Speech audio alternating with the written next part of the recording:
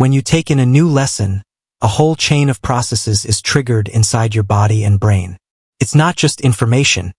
It's a stimulation of your mind and energy. In the stomach, the lesson begins to be processed and absorbed.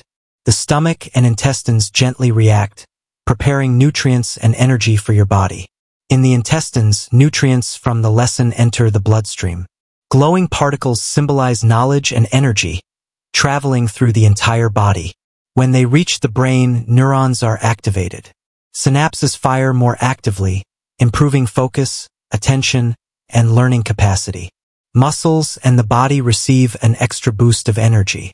Cells fill with vitality, making the body feel alert, strong, and ready for action.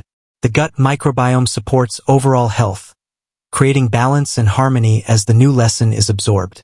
However, information overload can cause fatigue, irritability, or mental strain. The key to maximizing benefits is moderation and gradual learning. Every lesson is not just knowledge. It's a natural source of energy, concentration,